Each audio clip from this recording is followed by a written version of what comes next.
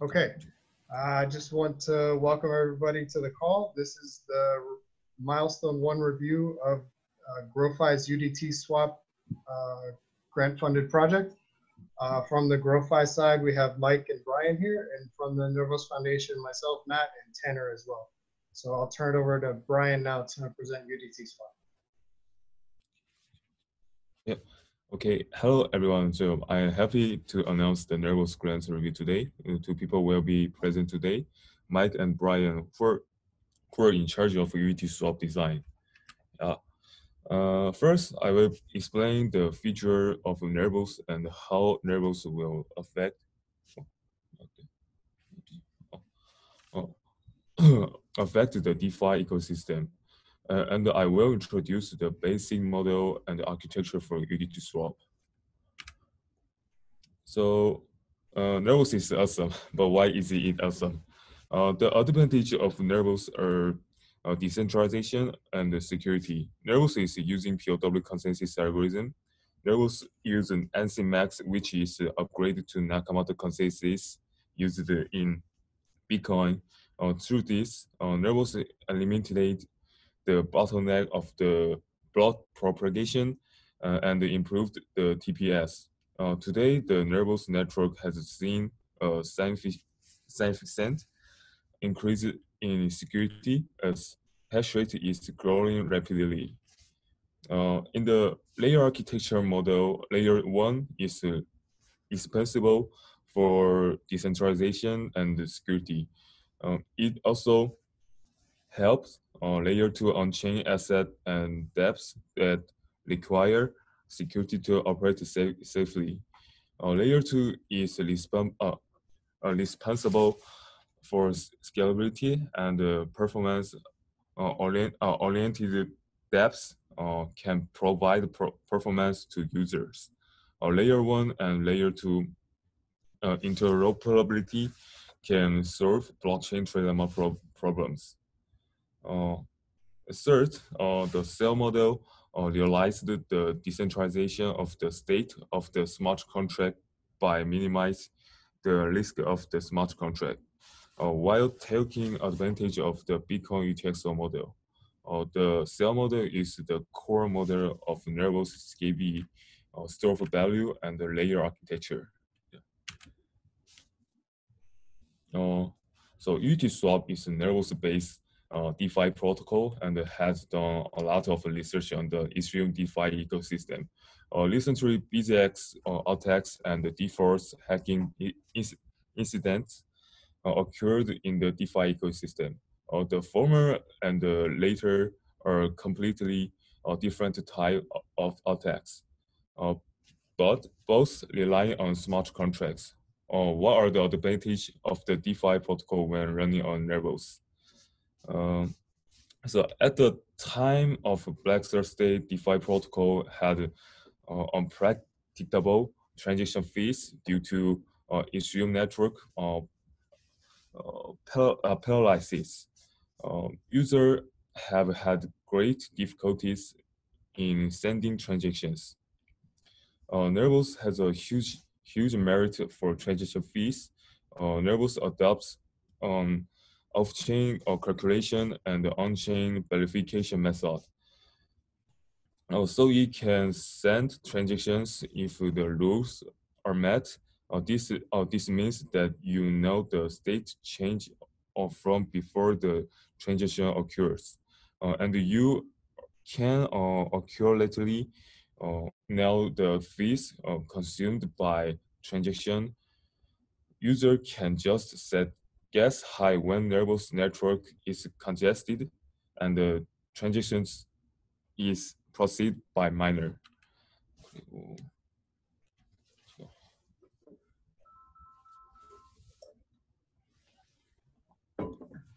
Uh, issues that cannot be update, uh, updated after the smart contract is deployed in Ethereum will place great uh, responsibility on the blockchain developer uh, DeFi, DeFi protocol that have been released so far are made of smart contracts. Uh, so once the damage is done, uh, it cannot be reserved forever. Uh, DeFi protocols with minimal third-party trust cost are later uh, contradictory. So the dependency on smart contracts is too high, uh, result, resulting in higher tr trust cost. However, CKB script uh, can be created with some ways like type ID. The type ID allows the developer to update the script at the any time. Uh, this can uh, significantly reduce the dependency on smart contracts.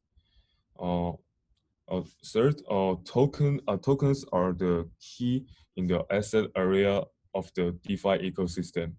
Uh, there are risks, are risks because the transaction and the status of ERC20 token are subject to contracts. Now, UDTs are similar Nervos ERC20 token. In the cases of uh, UDT, the owner tokens are stored in LiberCell and protect uh, by the owner lock. Uh, ownership of, of the asset is allows uh, always owned by uh, owner and it can effectively uh, control the risk of the asset by lowering its dependency on smart contracts. Okay. Uh, the DeFi ecosystem is growing and asset value and the number of users are growing day by day. In addition, uh, interoperable application using DeFi protocol have over, overlap the layers, uh, which is referred to as DeFi Lego. Uh, as the DeFi ecosystem has grown, uh, the number of attack case in uh, is increasing and attack type are also uh, diversifying. Uh, building the lobster, uh, building the robust uh, DeFi Lego is not something you can solve by simply uh, purging a high scalability. Uh, the key is whether you can safely hold your asset. Uh, as long as the on-chain is stable, the DeFi ecosystem will have the potential to grow. Uh, this allow users uh, to experience a financial service that do not require trust. Uh, Nervos is layer one for creating a, a level, robust DeFi Lego and layer one for future DeFi protocols. So Uniswap is an automated exchange protocol using multiple liquidity pool economy. Uh, is a decentralized exchange that replaces order book with an on-chain liquidity pool. Uh, any liquidity pool can be created. In addition, it's sizing automated market maker protocol or protocols can set a base currency and create a token pair. Uh, but there is no limit to the base currency in UDT swap. Uh, when liquidity is uh, added to the liquidity pool, the price is automate, uh, automatically formed uh, through the uh, constant pro, product market maker mechanism. Um, liquidity pool provider will earn transition fee uh, incurred in the uh, corresponding token pair swap.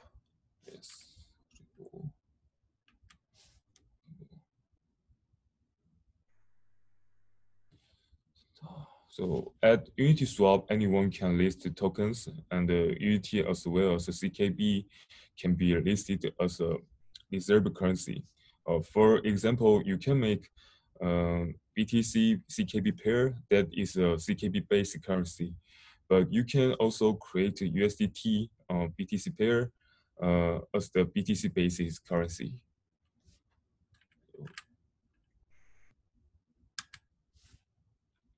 Uh, unlike uh, unlike traditional decentralized exchange using uh, uh, AMM model, which operate uh, operate as a sing single liquidity pool, uh, UDT swap supports multiple pool. For example, there uh, there can be multiple liquidity pool in CKB USDT token pair. Uh, so example, CKB USDT pool, pool A, pool B, pool C. So uh, there, uh, uh, there are different uh, prices uh, uh, dif different liquidity pool value.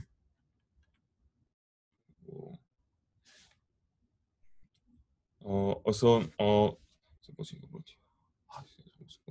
also one uh, the multiple poles uh, the advantage uh, the first also one like a live cell per liquidity pool uh,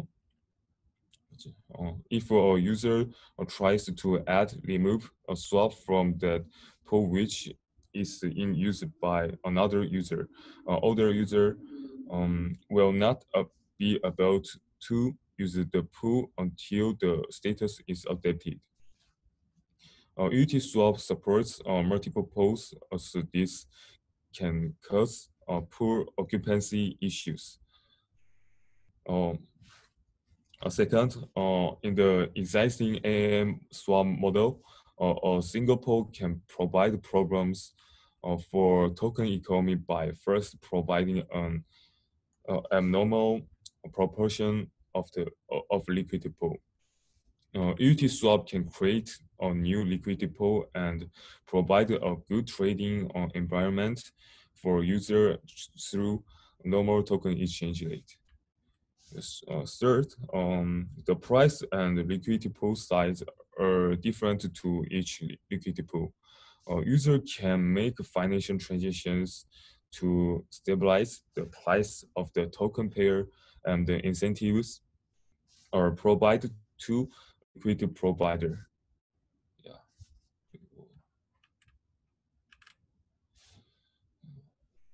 So uh, as uh, as the Nervos step and layer two ecosystem grows, uh, token swap will occur frequently. Uh, UDT swap provides uh, a cooperative uh, space to grow together with that business logic by supporting that integration.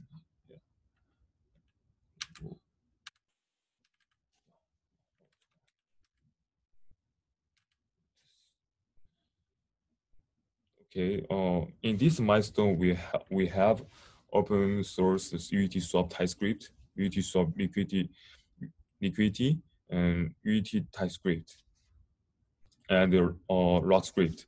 Uh, and there is a picture on our GitHub that shows how UDT swap works. Uh, the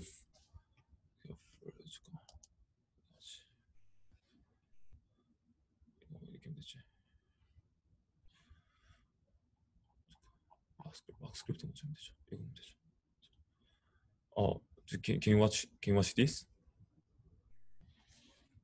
Uh, this is the. Take. Yeah, so this is the YouTube. Uh, UDT swap lock script. Um, uh, first count group input cells. Uh, then for our input index can be uh, divided by three. Uh, check if cells have UT swap TypeScript. Uh, after that, check for uh, three continue, continuous cells having some uh, UT swap lock script hash. That's all for lock script Uh, uh, this is uh, liquidity, uh, liquidity UDT TypeScript. 와, 좀 긴데. 음.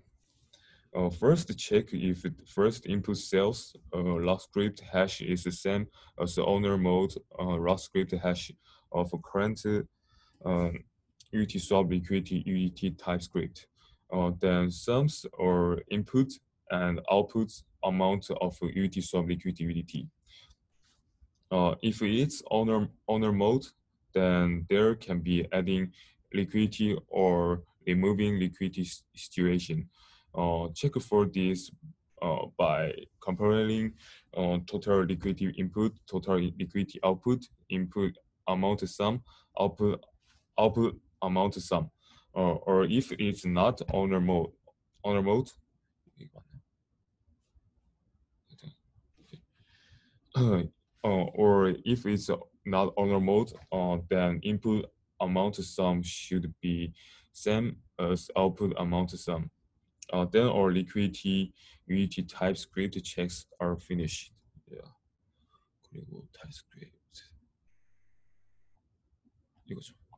Uh, this is the last uh, TypeScript. Uh, so first checks if this transaction is creating pool and if not count group input cells and the output cells. Uh, then checks for type script or raw script, uh, first UDT and the second UDT TypeScript, um, and compares amount of UDTs rock, rock up.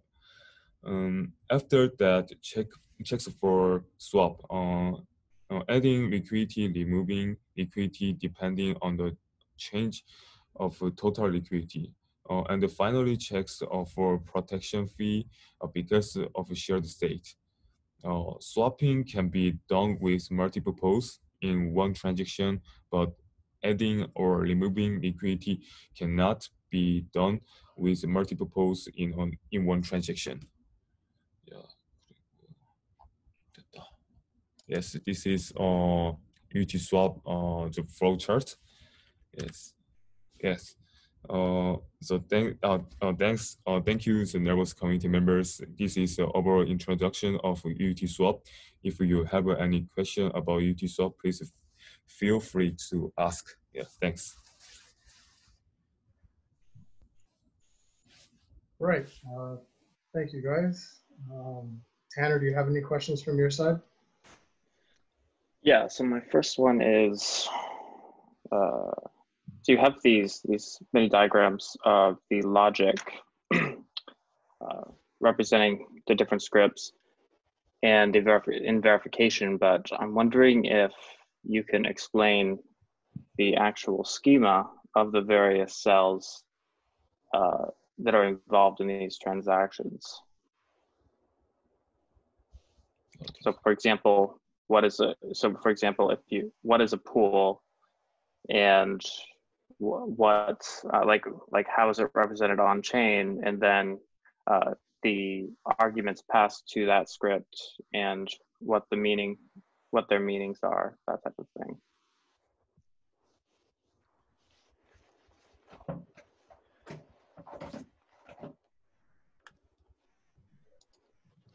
Uh, hello. Uh, uh, is this your question that uh, what our TypeScript has in arguments and what's the data and what's the cell structure and so on. Is this your yeah. question? Mm -hmm. Uh, yeah. Uh, first, uh, our TypeScript, uh, TypeScript has arguments of one thing. this is the uh, serialized first input of to creating transac uh, transaction. This will uh, act like the um, unique uh, uh, unique index of the pool, and the pool will be uh, identified by these arguments, and we will use this all scripts as uh, type ID. So the hash type will be type. And the data will have three things. Uh, first one is total liquidity uh, amount of liquidity UDT. So this means that uh, all uh, liquidity change as the UDT. So it, it's same as the uh, total amount of this pool's liquidity. And second thing is first UDT's amount locked and third one is second UDT's locked amount. Uh, this is of the TypeScript of our uh, UDT swap. And second one is lock, uh, lock script the last script will have uh, two arguments. First one is first UDT TypeScript hash, and second one is second UDT TypeScript hash. So this last script will identify uh, the token pairs first and second tokens. And this is type ID 2. So the hash type will be type. Mhm. And third one is the last one, and this is liquidity UDT. This liquidity UDT means uh, if you add a liquidity to some pool, then the amount will be changed as some UDT. And this UDT means that you have a percentage of liquidity in some pool. So you can use this UDT when removing liquidity. And this script will have arguments as uh, tools, uh, UDT swap lock script hash, above these things all hash, and this will uh, identify if uh, uh, current transaction is owner mode or not.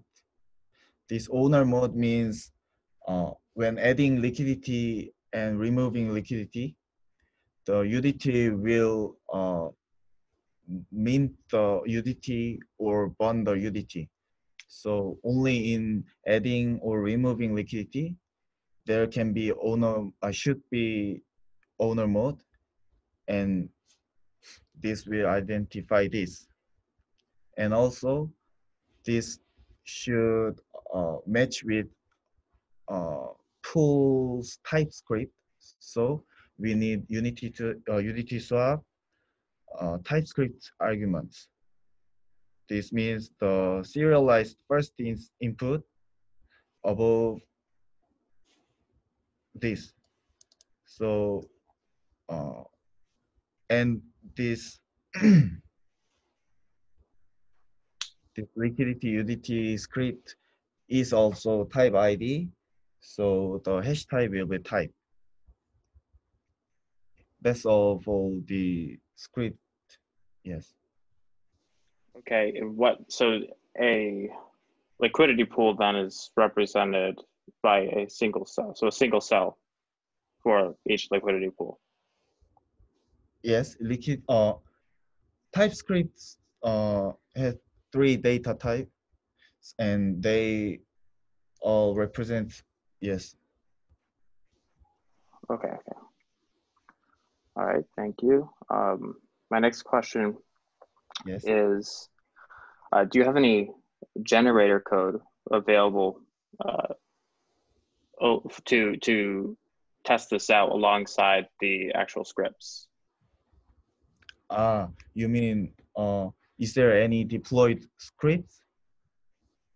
Is there any uh, code that allows people to interact and test with these scripts? Uh yes, currently is uh all three scripts are deployed in testnet and we are testing right now and if the uh, UI and some more is ready then users can test and yes Okay.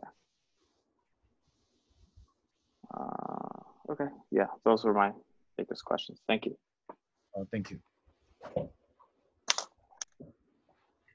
right. Um, do we have any more questions? Oh, no. Uh, we have no questions right now. Thanks. Okay. Um, I think with, with that, we can uh, wrap it up. Um, yeah, I really want to thank the GrowFi team for joining and a great presentation and uh, Tanner taking the time to review things. And um, yeah, I guess we'll, we'll take it to Discord from here. So um, yeah, thank you, everyone. Cool. Thank you. Yeah. Thanks, thanks everyone. Thanks.